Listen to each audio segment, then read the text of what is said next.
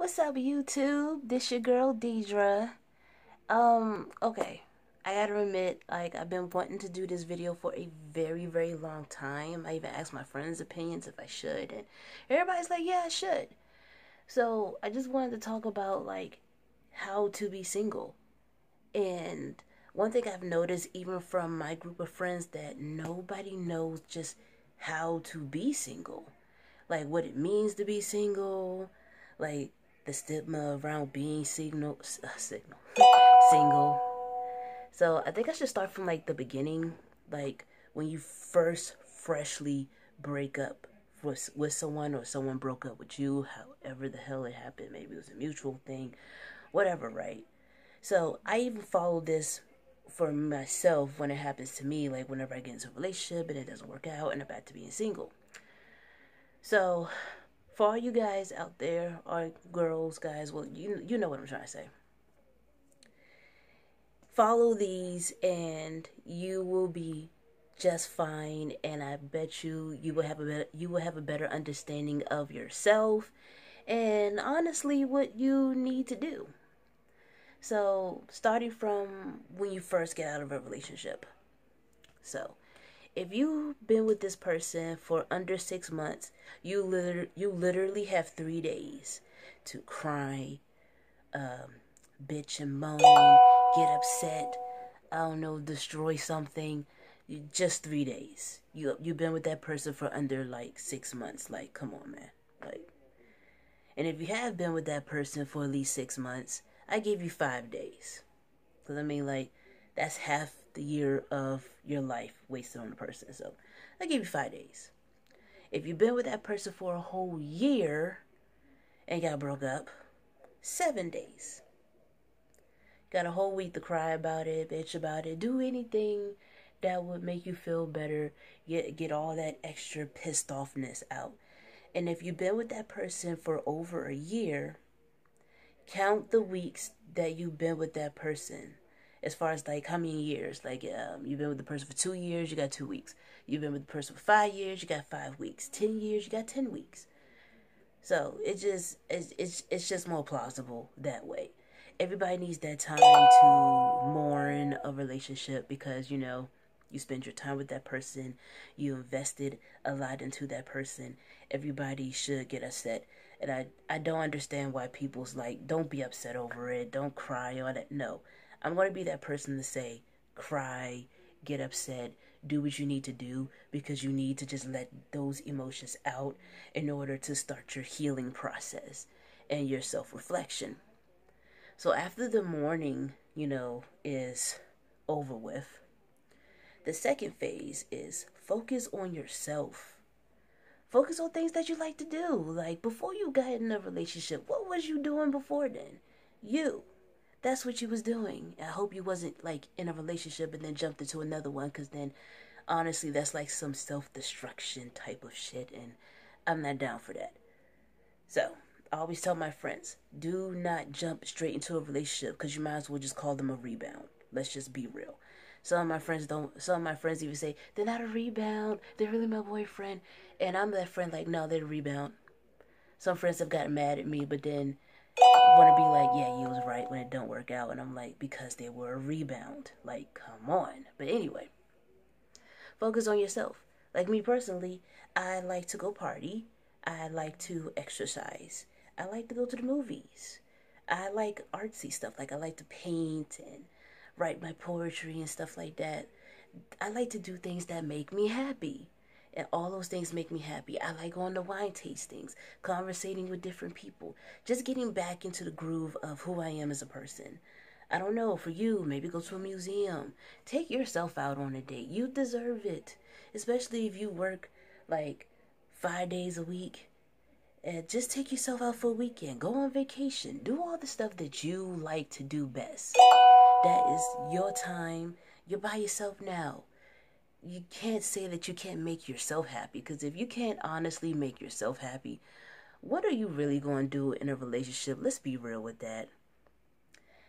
And then after that's done, honestly, this might sound weird for me to say, but go play. I mean, you're single now. It's no restraints. Obviously, protect yourself. Don't be risque and promiscuous and all that extraness. Let's not be stupid, people, but let's have some fun too. Like, there's nothing, nothing, nothing wrong with, like, I'm not even gonna say dating, I would say talking to people. I mean, if somebody wants to take you out, fine. If they just want to get in with you, that's totally fine as well. If you want it, of course. Um, there's also key signs to look for uh, when it comes down to that as well. I've come across those too. The people that really want to get to know you, they will ask like personal questions about you. Not too personal, especially if you guys just exchange numbers and you guys just talk to each other, but um, more like those really deep questions and not the obvious ones like what's your favorite color, this, that, and the third. Honestly, those are just, you know, the the um the regular get to know you questions. But for me, the get to know you questions revolves around exactly what you guys have talked about, like getting further into it. Like if they want to dig into your mind and how you think for real, give them a chance to get to know you because that's actually a good sign. But then the other half of it is if all they talk about is all the physical stuff, like I just want to touch you, or you're so beautiful, or you're so handsome, and they just found they find any way to like touch you, like touch your hand, your knee, your shoulder, always want to hug you, be like, oh, I just want to kiss you and stuff. Let's be real, they just want to get it in, and that's when you have to make a decision if you want to or not. And nothing's wrong if you want to, but just know that it won't go further than that. It just won't. And the further test the waters of that, don't hit them up for like a month, literally a month. And then maybe, te- no, not even maybe, text them and be like, so I guess you really hit ghost. And depending on what they say, or if they say anything, that's when you determine it. For me, me personally, if they don't text me at all, then I just delete their number and don't talk to them ever again. But if they do text me, they they got an extra day. But there has been times where they would hit me for that day and then hit me the next day, and then I don't hear from them no more. That's when you just have to cut it off anyway, because they just was trying to prove a point. Like, no, nah, nah, it's not like that. It's not like that at all. You're not on their mind for them to even hit you up sometimes, and a whole month has passed. Like, come on. So time to cut it, because there's way too many people out there in this world to talk to, to get to know, and have a little fun. But while you're single, it's also a self reflection moment. You have to seriously look deep within yourself. You even have to look in the relationship of why it fell apart. It's not always them, it might have been some things that you've done that you haven't noticed. People, we have to take self responsibility as well. I mean, that person possibly has mainly fucked up the whole entire relationship, but you have to really look into exactly what you've done as well. Even down to the littlest things. You probably was totally innocent and did nothing wrong, but maybe it was like slight annoyances. But at the same time, if that's your personality and they can't deal, then honestly, fuck them. Just forget it. There's so many different people out there in the world, and someone who is just dying to be with you and love you and care for you and be extra with you. You hurt? Ouch. Sorry, my knee hurt. But also, real talk. There's absolutely nothing wrong with being single. And I want the stigma to stop when it comes down to like people being single for long periods of time. What exactly is wrong with that? There's nothing wrong with being single for a long period of time. That just means that you're that you value yourself and that you just don't take anybody as a relationship there's times that you're going to feel lonely, but at the same time, with you being single, you're never really lonely for real. I get that all the time with dudes like, Aren't you lonely? And I'm like, No, I am not. Because guys like you love to approach me. So how am I really lonely? Let's be real with that.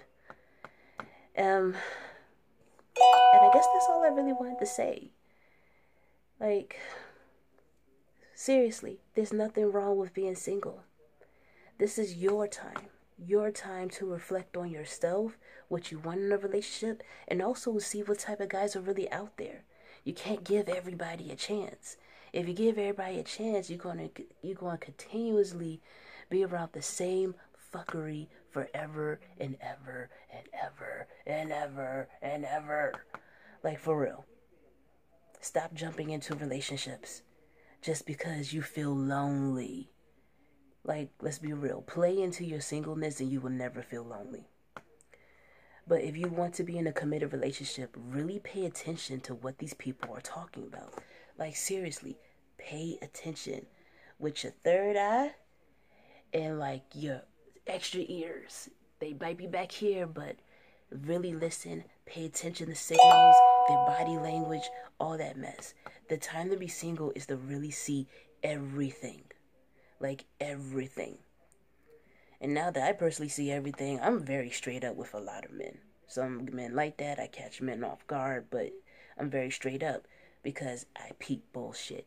Like my friends always tell me, like I am definitely the bloodhound of bullshit. Like I sniff that shit out.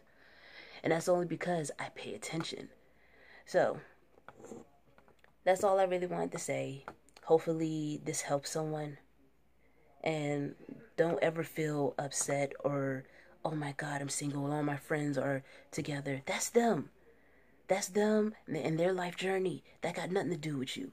Stop comparing yourself to everybody else and stop going along with the stigma of being single forever and that spinster bullshit. Like, reflect on yourself. Get yourself together. Pay attention and enjoy just being by yourself a little bit. You will eventually be in a relationship, but there's no need to rush it. So, like, comment, and subscribe. Thank you so much for watching my video. Um, like this video, I would really appreciate it. Uh, comment down if you agree with everything I'm saying, and please subscribe. so, talk to you guys later. Bye. At least for now. See ya.